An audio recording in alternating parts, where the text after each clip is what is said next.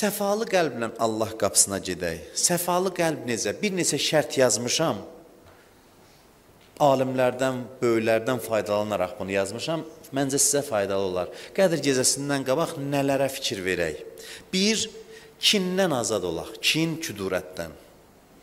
Adamlar bir-birinə pislik də eləyir, bəzən insafsızlıq da eləyir. Nahaq yerə nəsə bir haqq da tapdalayır, Arada olur da belə şeylər olur, həyatın qanunudur.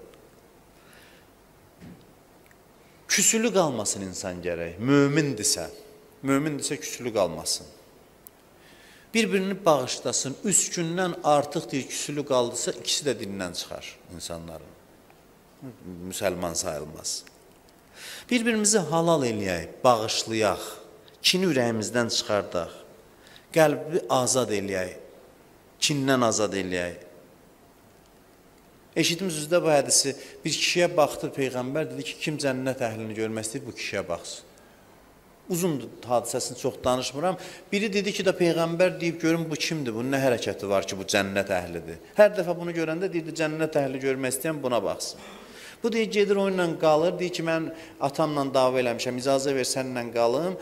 Üç gün qalır, gözü bundadır ki, bu nə ibadətdir? Görür, heç bir xüsusi ibadət eləmir. Ancaq vacib namazlarını qılır, gedir işinə, gəlir, vacib ibadətlərini yerinə yetirir. Bu özü, bu özü. Gecə namazı, Quran oxumaq falan, o baxır, görür, onda heç nə yoxdur.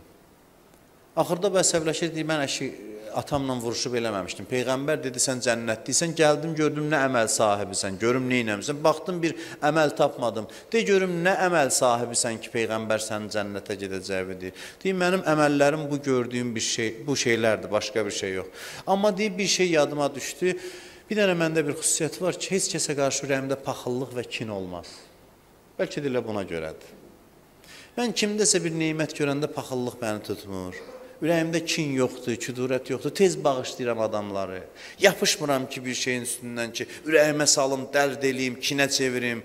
Qardaşlığın şərti bu deyil ki. Qardaşlıq budur ki, həzm eləyəsən, udasan. Və insanın aqibətinin xeyirli olması üçün də qəlbin başqalarına qarşı kin-küdurətdən azad olmasıdır. Qədr gecəsində çalışın ki, ürəyinizi azad eləyin, hamını halal eləyin və halallıq alın, barışın. Küsülü daxil olmayın qədr gecəsinə. İncili daxil olmayın. İki, ikinci xüsusiyyət nədir? Mən qısa deyəcəm, narahat olmayın. İkinci xüsusiyyət Allahdan razı qəlblə Qədr gecəsinə daxil olaq. Yəni təkrar-təkrar desən ki, Allah mən səndən çox razıyam. Doğrudan da çox razıyıq da biz razı olmalıyıq Allahdan. Nə qədər lütf eləyir bizə. Deyək ki, mən səndən razıyam, çox-çox razıyam. Qəlbin bu halı çox mühümdür Allah üçün.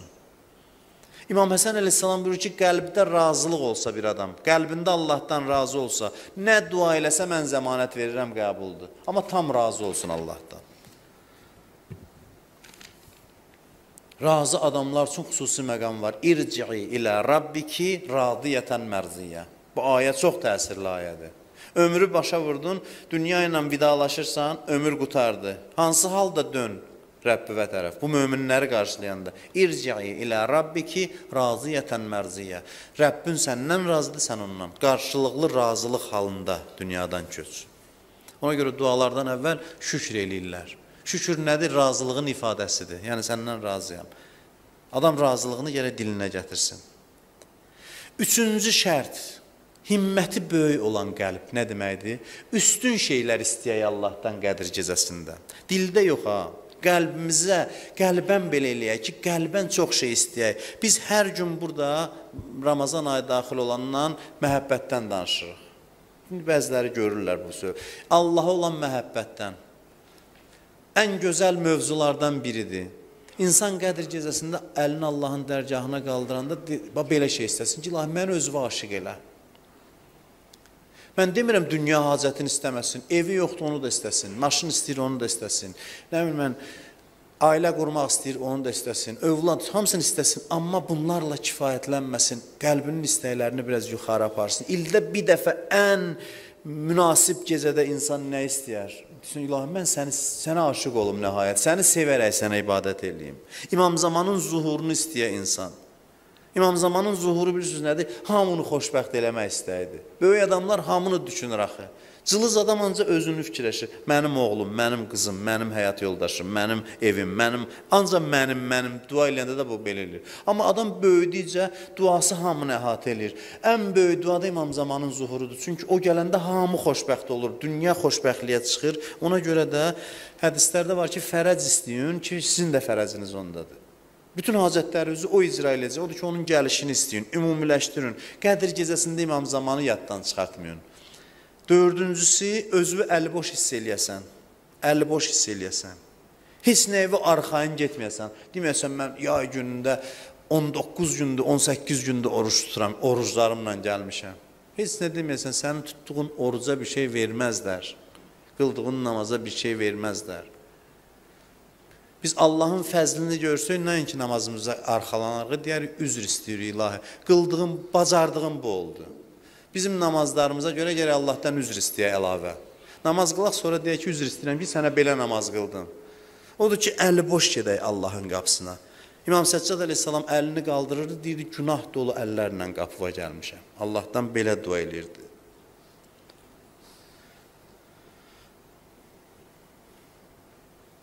Günah eləmişəm, qapıva gəlmişəm. Günah ona görə böyüdü ki, bax gördüyü kimin huzurunda günah edirsən. Neçə dəfə sənin əmrindən sənin huzurunda çıxmışam və sənə günah eləmişəm. Beşinci şərt, gələcəyin üçün ancaq Allaha söykənəsən.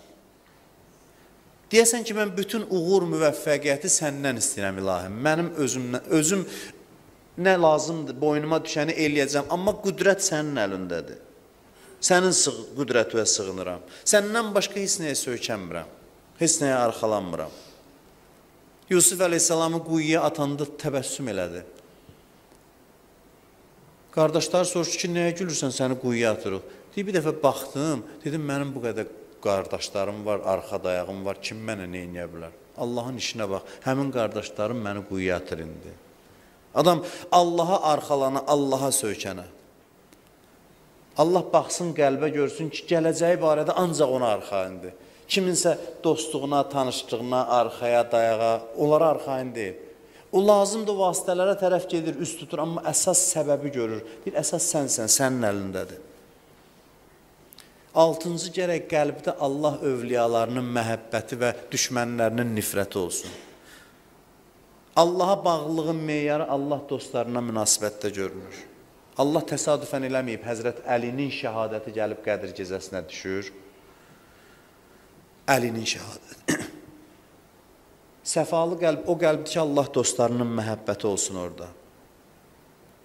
Yoxsa 100 il ibadət elə qəbul deyil insanlar. Fikir verirsiniz, biz Quranı başımızın üzərinə qoyuruq Qədir gecəsində. 14 nəfərə də Allaha və 14 nəfərə Allaha and veririk. İki əmanətə sarılırıq. Quran və əhl-i beytə sarılırıq. Və Allahın xüsusi lütfüdür bizə ki, bu məhəbbəti bizə inayət eləyib. İnsan gərək haqqı sevə, haqqın düşmənləri var ya, bugün insanlığı oda tutublar. İnsanların başına od yağdırırlar, qan tökürlər. Baxırsan, görürsən, dünyanın hər tərəfində Günahsız uşaqlar öldürülür, o insan haqlarından, azadlıqlardan danışan dövlətlərin hamısının gözlərinin qabağında yox, xeyir duası ilə bu işlər edilir. Bax, o zalım düzən var, onun başında dayanan o alçaqlar var. Bax, onların nifrəti bir insanın qəlbində olmasa, o, onu göstərir ki, onun imanı kamil deyil. Haqqı sevdiyin qədər nə haqqa gərək nifrət eləyəsən. Bu, insanın ruhunda bir müvazinətdir. Bu, ruhunun müvazinətini saxlayır. Növbəti xüsusiyyət budur ki, Allaha təzim halında gedəsən. Əzəmətli gecədir Qədir gecəsi. Qədir gecəsində Allahın əzəməti zuhur eləyir. İnsan əzəmətin qarşısında təzim elədiyi bir halda getsin Allahın qapısına. Coşan kəbir duasına baxırıq. Coşan kəbir duası bax bu əzəməti qabardır. Allahın böyüklüyünü qabardır. 8-ci budur ki, 8-ci də budur ki, ümidlə gedəsən. Ümidin gərək Allaha çox olsun. Hüsn-i zənnən. Bilirsiniz necə bir prinsip var? Allah deyir ki, məndən nə gözləntidədirsə, elə davranaram ondan. Bir, biri gözləyir ki, mən onu bağışlayaram, bağışlayaram. Kim məndən nə gözləntidədirsə, məndən nə gözləyirsə, elə də davranaram ondan. Ramazan ayının ən önəmli gecəsində, Qədr gecəsində Allahın qapısına ümidlə gedək.